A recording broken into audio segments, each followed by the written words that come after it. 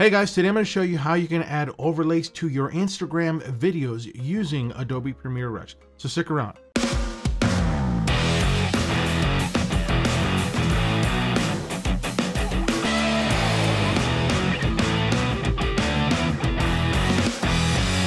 Hey, my name's Claudio and welcome to my channel where I share tips, tools, and tricks to help you share your story. Today I'm going to walk you through how you can add overlay images to your videos that you may share on Instagram TV, I'm going to be using Adobe Premiere Rush on my computer to walk you through. You can do this on your phone as well. It's just much easier with more real estate. So without any further ado, let's go ahead and jump right in. To start with, I'm going to click on create new project. And in order for this to work, we're going to have to create layers. First thing I'm going to do is add kind of a color background so if you decide to do something like this, you can choose whatever color you want, maybe uh, kind of your brand colors or something like that. And then I'm going to go look for my uh, content here. So let's do this. Um, where's my video? Here, let's look right here. Let's go videos only.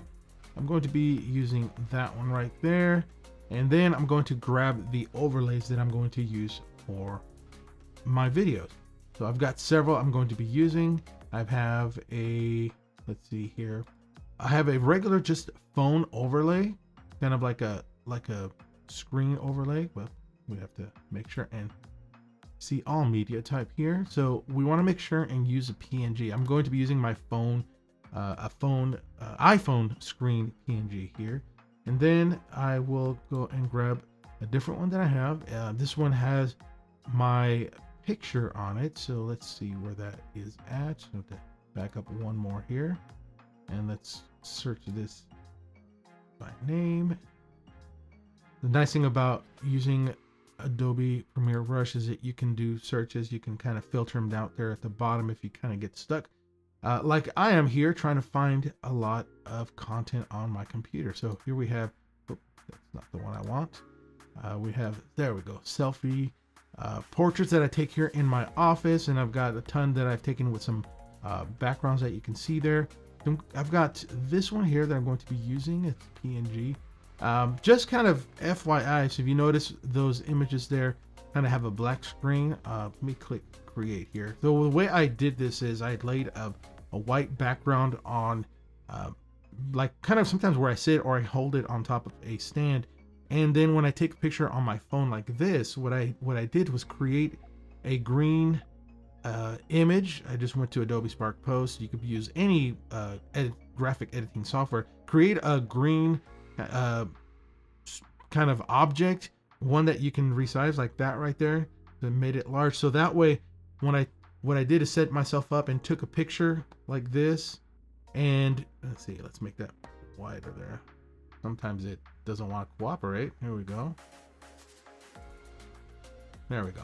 So I'll do this, take a picture. I'll try to make sure my fingers aren't like in the screen and it kind of make sure it kind of zoom in like that right there. So it's kind of sharp. And then I'll take a picture if I want to hold it this way or uh, landscape. And then I'll use Photoshop to take out that green. And that way uh, it's clear and then just save it as a PNG. And that way I can layer it in Adobe Premiere Rush or any pretty much any software. Um, that's so that's kind of how I create those. So here we go. We have our background color here, which is that green. And if you can see, I've got about a two and a half minute clip video. I just grabbed one that was on my phone for this demonstration. And what I'm going to be doing is grabbing this first layer over here and let's make this a little bit easier to see. So let's uh, zoom in here to the layers. And then what I'm going to do is grab that uh, yellow marker there or handle and going to, that's not what I want to do, that one there. We're going to just expand this. I'm going to just go to about a minute. And then the, the piece here, because that's going to be my background. Let's go up here to uh, transform and now what I'll do here is just increase the size so it fills the whole screen. There we go. The next thing I'll do is let's enlarge this, or I should say zoom out. So that way I can see all of my uh, assets here in this video project. And then here, we're going to grab this video and bring it on top. So that way my color becomes the background. The reason being is because I'm going to resize that video. So it's not going to fit. By the way, my screen right here has already been set to 9 by 16, which is my Instagram size video formatted that way. If for some reason it does not switch there or automatically take, what you'll do is click right here and you can choose 16 by 9 and like I have 9 by 16, 4 by 5, and then your square. So for this demonstration, what I'm going to do here is just basically I'm going to trim right here uh, and just kind of remove the excess. This is kind of a throwaway video that I made. Um, I'm not really going to keep this. Uh, what I'll do is grab the scissors and we're going to trim where the uh, marker is right there. So let's go ahead and delete that extra video.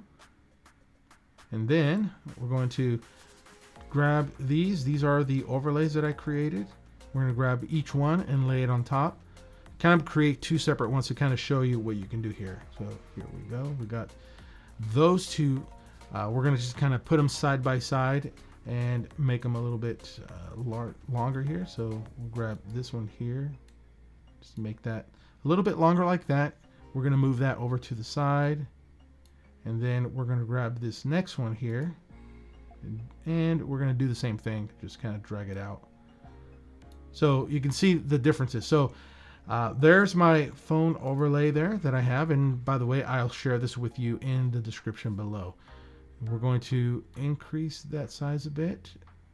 And it doesn't matter that it's off to the side because we're going to shift it over horizontally. So if you want to create some kind of uh, Instagram videos like this with like a phone overlay, it's a really cool way to do that. So as you can see, my video is kind of over to the right, left, top, and bottom. You know, you, it, it's not fitting in there. So you can do several things to fix this. I'm gonna I'm gonna show you uh, this option here is to click first on the video layer and then use the scale option and we're going to scale it down to where it gets as close to fitting in there. Now it's okay if it kind of bleeds out. So we're going to use another little tool here. Let's kind of get it close it's going to be right about there. Now, there's a crop option down here at the bottom. So we're going to crop the left and right. We're going to crop in. So we're going to do uh, as close as we can, just so we don't see that little corner bleed out. That's about right there. And then we're going to do the same to the left. Uh, I could just type in, let's see if it works 9.8. Yeah, uh, it's a little bit, there we go. We'll fix that. So pretty much kind of copy paste or just type into the scale there and the crop. So there we go. Um, right there I added an overlay and if I want to play through, I'm going to go ahead and let's let's mute the video for now. So if I want to play through, you kind of see how it looks. There we go. And I have one more layer here, so if I want, I can drop in, let's see here, just for uh, the sake of this demo, let me go ahead and find my logo.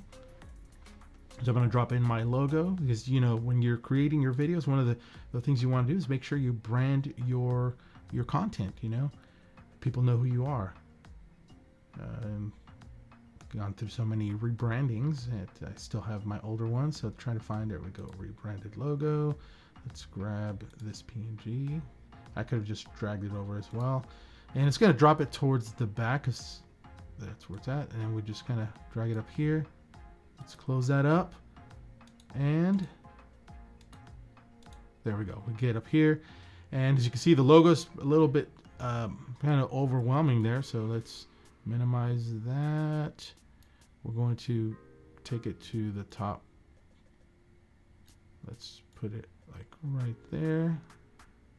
And maybe bring down the opacity a little bit about there.